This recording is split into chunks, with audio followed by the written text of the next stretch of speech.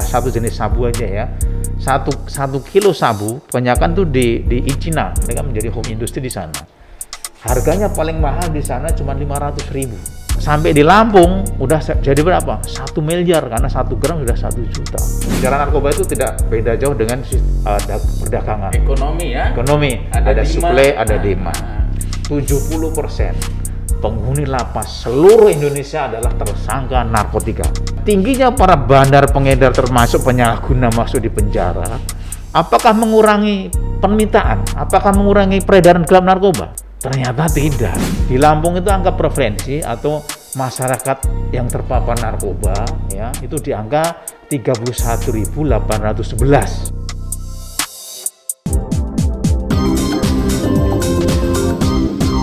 Provinsi Lampung merupakan gerbang utama Pulau Sumatera menuju Pulau Jawa. Lokasi lautnya juga terbentang luas, yaitu Samudra Hindia di barat, Selat Sunda di selatan, dan Laut Jawa di timur. Lokasi yang strategis ini menjadi pintu masuk narkotika di Provinsi Lampung. Selain jadi pasar, Lampung juga menjadi daerah perlintasan distribusi narkoba menuju Pulau Jawa. Nah, Badan Narkotika Nasional adalah sebuah lembaga pemerintah non-kementerian yang mempunyai tugas di bidang pencegahan, pemberantasan, penyalahgunaan dan peredaran gelap narkotika psikotropika, termasuk di dalamnya melakukan rehabilitasi bagi para korban narkoba. Seperti apa peredaran narkoba di Provinsi Lampung di masa pandemi? Untuk membahas ini, kita akan berbincang selama 45 menit ke depan dengan tema War on Drugs di masa pandemi. Bersama kita sudah hari di studio Kepala Badan Narkotika Nasional Provinsi Lampung, Brigjen Pol Dr. Edi Swasono MM. Apa kabar ini Pak Kepala? Baik, terima kasih. Tabik pun yang saya hormati para pemirsa Kupas Tuntas dan para follower Kupas Tuntas yang berbahagia. Kabar baik. Terima kasih Pak Kepala sudah berkenan hadir dan ya. uh, berdiskusi bersama kita dengan tema War on Drugs. Ini kan War on Drugs artinya perang, perang. melawan narkoba. Betul. Gitu. Betul. Nah, perangnya seperti apa ini Pak Kepala? Baik.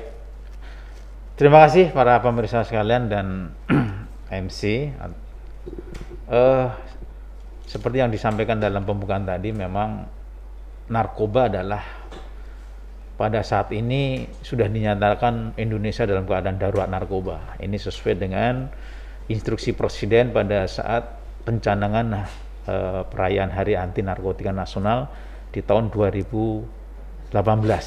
Okay. Dengan kedaruratan tersebut sehingga presiden mengeluarkan instruksi presiden ya. Yang pertama tahun uh, nomor 20 tahun 2018 kemudian diupgrade kembali terakhir instruksi Presiden nomor 2 tahun 2020 yang intinya adalah kewajiban atau partisipasi aktif seluruh kementerian lembaga termasuk badan usaha milik negara, badan usaha milik daerah termasuk masyarakat luas untuk berpartisipasi aktif atau proaktif dalam program rencana aksi nasional, program pencegahan, pemberantasan peredaran gelap narkotika dan prekursor lainnya. Nah, kedaruratan ini ada ada beberapa indikator kenapa sampai Indonesia presiden menyatakan kedaruratan narkoba. Yang pertama, Indonesia saat ini adalah sudah menjadi bukan menjadi uh, transit saja, saat ini sudah menjadi marketing bahkan ada indikasi sudah menjadi produsen hmm. narkoba. Nah, kenapa? Karena marketing yang sangat luar biasa. Jadi angka prevalensi, angka prevalensi itu adalah angka masyarakat Indonesia yang terpapar narkoba itu sudah di angka 3 juta jiwa.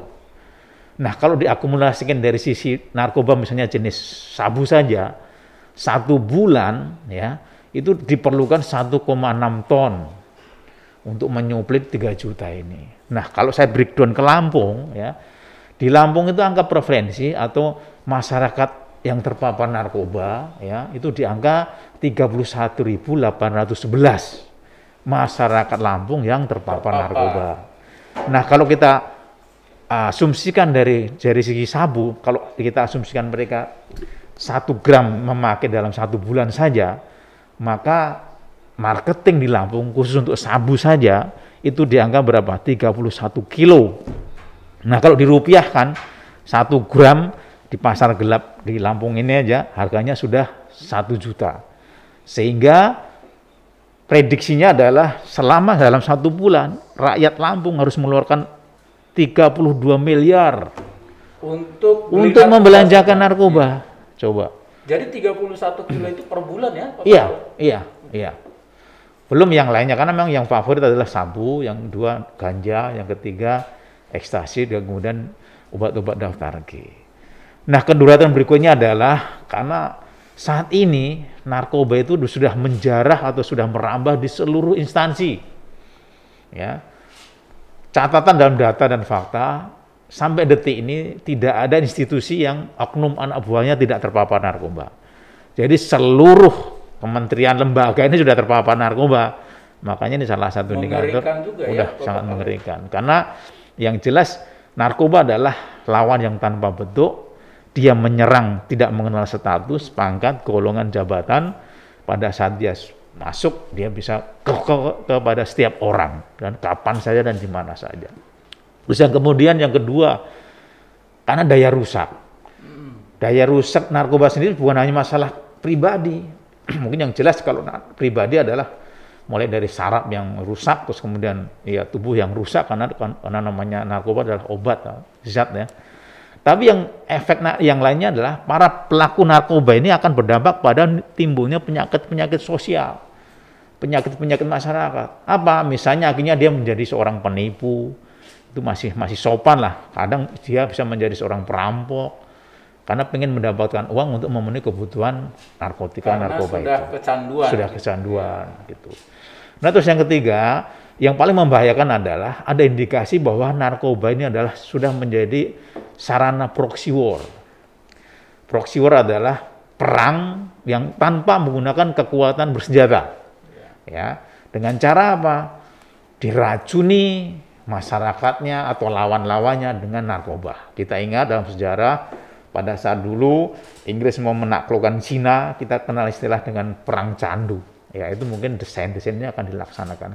Dan yang lebih membahayakan lagi, ada indikasi karena bisnis narkoba adalah bisnis yang menguntungkan yang sangat luar biasa keuntungannya ya. Salah satu contohnya begini, itu rata-rata salah satu jenis sabu aja ya. Satu, satu kilo sabu, kebanyakan tuh di, di Cina, mereka menjadi home industry di sana. Harganya paling mahal di sana cuma 500 ribu. Ya, satu kilo. Satu kilo. Satu, sampai di Lampung udah jadi berapa? Satu miliar, karena satu gram sudah satu juta. Dalam teori ekonomi tidak tidak masuk di akal kan keuntungan Iya, sedemikian. Nah, karena keuntungan luar biasa ini, sekarang ini ada indikasi mereka sudah berafiliasi dengan kelompok-kelompok eh, penjahat-penjahat teroris Hmm. radikal. Dari sisi apa? Dari sisi pembiayaannya. Ini mereka kelihatan tidak nyambung, tapi dalam konsep operasinya mereka dia sejalan karena Jadi pengen sama-sama. Ternyata perputaran dana narkoba kalau saya tangkap dari kepala ini mengalir jauh juga gitu. Sangat jauh, sangat jauh. Bahkan dalam tanda petik kalau kita mau jujur ya, bukan hanya masalah untuk kejahatan, termasuk untuk politik. Ya, ada indikasi untuk permainan politik karena mereka dia dengan dengan banyaknya duit, dengan kekuatan yang unlimited, dia bisa beli, beli apa saja, dia bisa buat apa saja, dan dia bisa bikin apa saja. Nah ini yang dikhawatirkan oleh Bapak Presiden adalah indikasi uh, proxy war. Ya, karena apa? Pak Presiden sudah mencanangkan di tahun nanti di saat Indonesia merayakan ulang tahun Indonesia emasnya di tahun 2045 ya diharapkan Indonesia sudah menjadi top 10 dunia.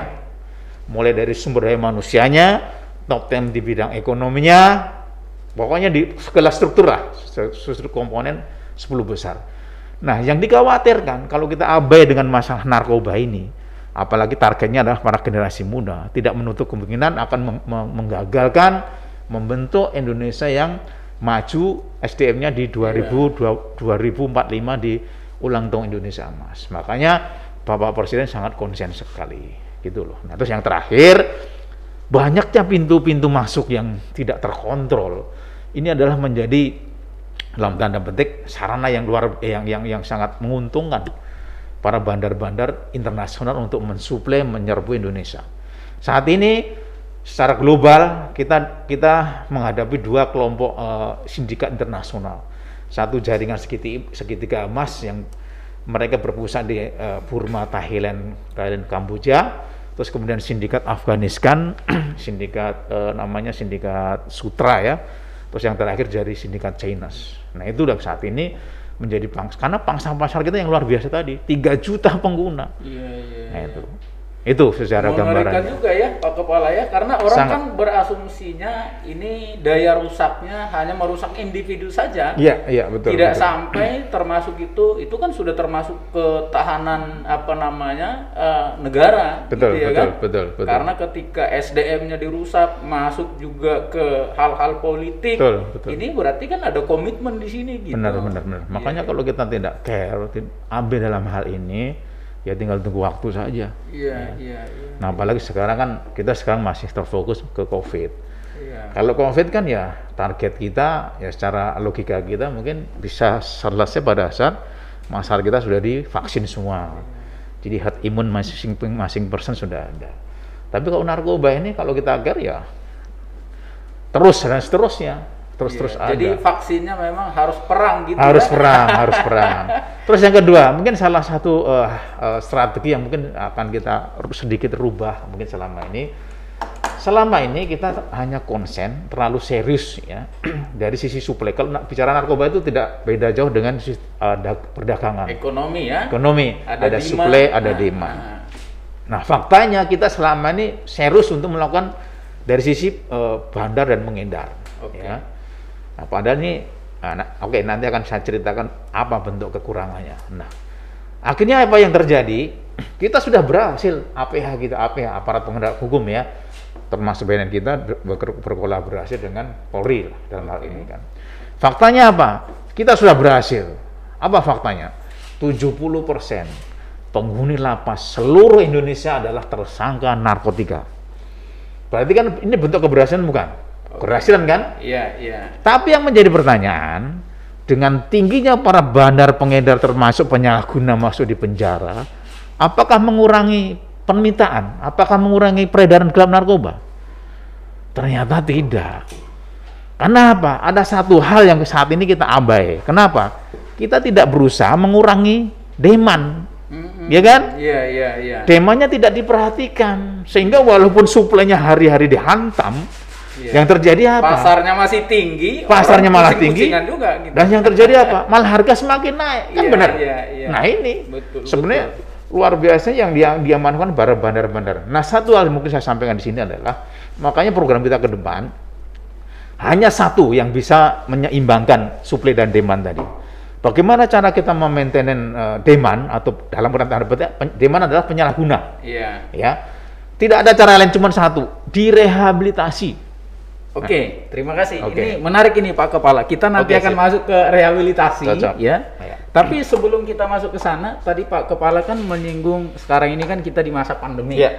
Nah, tentu mungkin masyarakat kita publik juga pengen tahu juga. Ya. Di masa pandemi ini, peredaran narkoba ini semakin turun atau semakin meningkat gitu Pak Kepala? Ya, jangan salah. Justru kondisi pandemi ini semakin banyak peredaran narkoba. Kenapa? Karena satu, petugas-petugas di lapangan kita semakin terbatas ruang geraknya. Kenapa? Kita dibatasi dengan protokol kesehatan, ya kan? Dengan face to face banyak prosedur-prosedur. Artinya apa?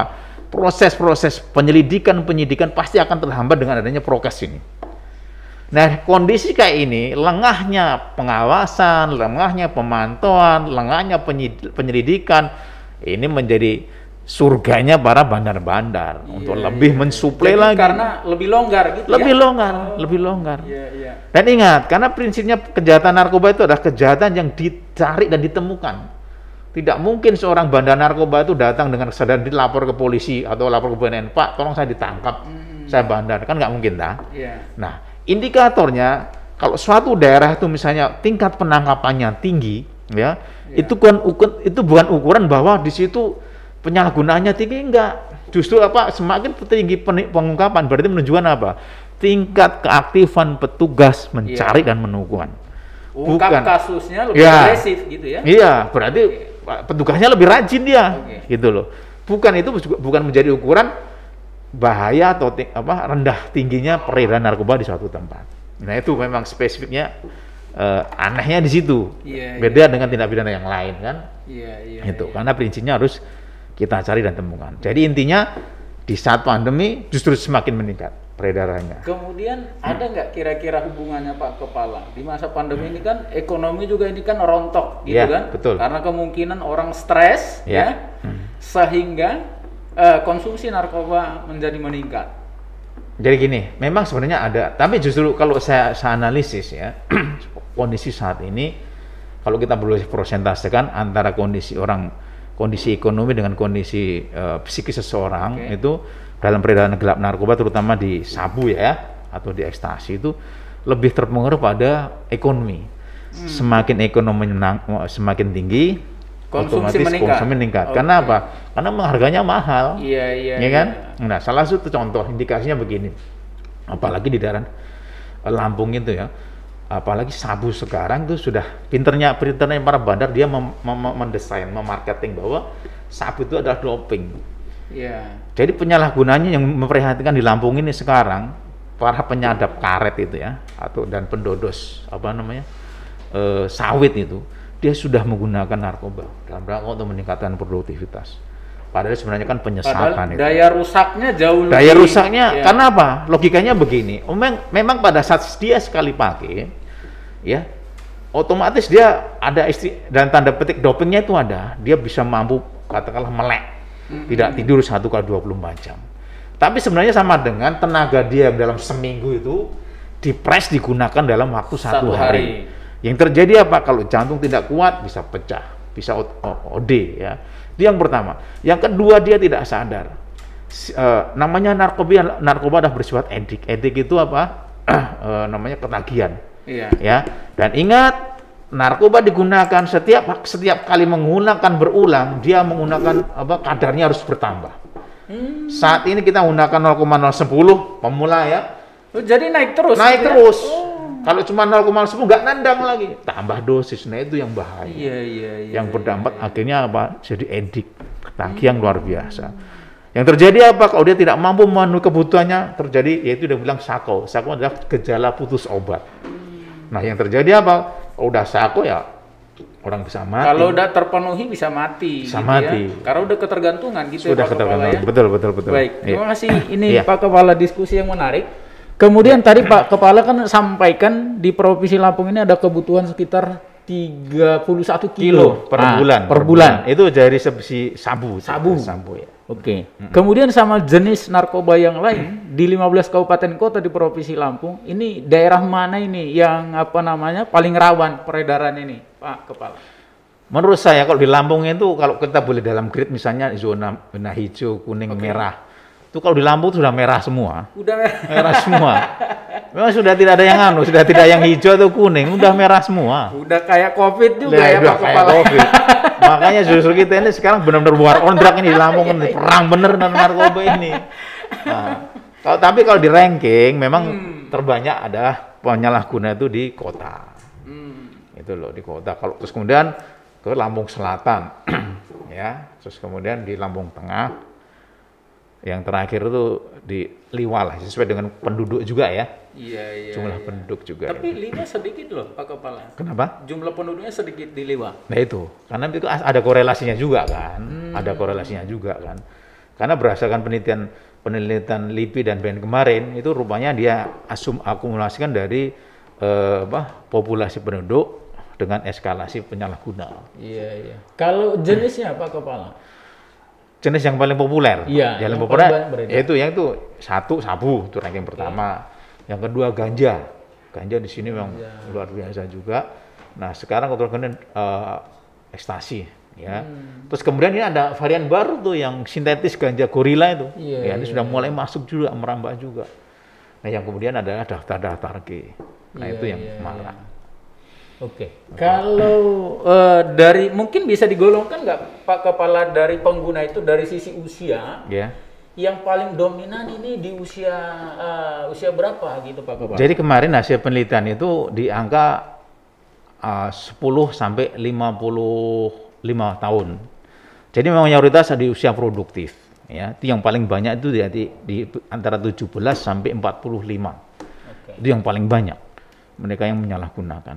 Rata-rata memang usaha produktif. Kalau tingkat pendidikan justru saat ini memang kalau dari segi pelajar mahasiswa itu ada di ranking ranking dua ya. Ranking pertama adalah kelompok mas- apa kelompok swasta. Nah, itu yang paling besar. Kelompok swasta. Kelompok swasta yang paling besar penyalahguna itu. Terus kemudian ranking dua adalah pelajar mahasiswa.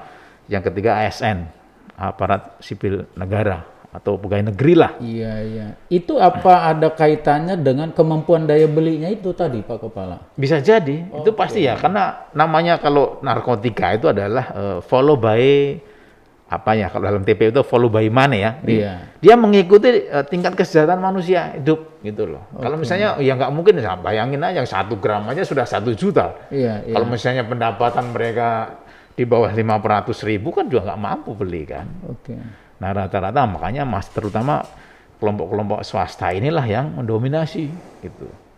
Iya, iya. karena iya. karena faktor eh, yang mahal ya, harga Iya. yang mahal. Oke.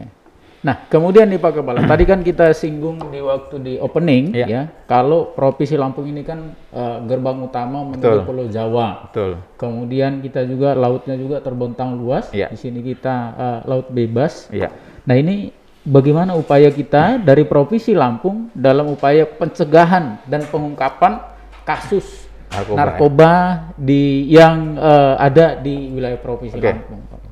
Jadi gini, kita kita coba mengilustrasikan dan memapping kondisi peredaran narkoba di wilayah Lampung ini.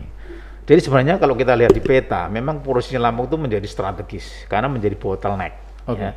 Jadi menjadi pintu pintu utama jalur transportasi yang menghubungkan Pulau Jawa dan Pulau Sumatera. Jadi logikanya kalau perjalanan darat mulai dari ujung Aceh sampai ujung Bengkulu pasti lewat Bandar Lampung. Iya. Ya. Nah terus kita juga mau mapping. Selama ini termasuk jalur eh, jalur sindikat internasional, dia menggunakan dua jalur utama, jalur darat dan jalur laut. Ya. Selama ini yang jalur laut adalah melalui Malaysia, melalui Malaysia tembus ke Aceh, tembus ke Medan, sama tembus ke Batam atau Rio. Itu jalur utama, jalur jalur jalur apa ya, jalur populernya lah, gitu loh. Nah kalau jalur darat, mereka menggunakan jalur darat di Kalimantan, itu di Pontianak dan eh, Kalimantan Utara, di di di di, di daerah Bontang sana, Kalimantan Utara dan Kalimantan Timur. Nah khusus untuk kita, kita sudah bisa mapping. Rata-rata mereka melalui jalur jalur laut masuk ke Batam, masuk ke Medan, masuk ke eh, Riau. Dan kita sudah pastikan itu pasti akan lewat kita. Hmm. Makanya kami eh, tahun 2006 pada saat kami dulu masih bernas di sini, ya waktu itu kita masih di Kasar Narkoba. Saya sudah sama Pak Direktur waktu itu sudah mendesain, merancang dan waktu itu kita kerjasama dengan BNN juga. Tapi waktu itu kan BNN belum belum vertikal ya, Iya. masih BNNP lah ya. Kita sudah membuat sipot interdiction di Pelabuhan Bakauheni.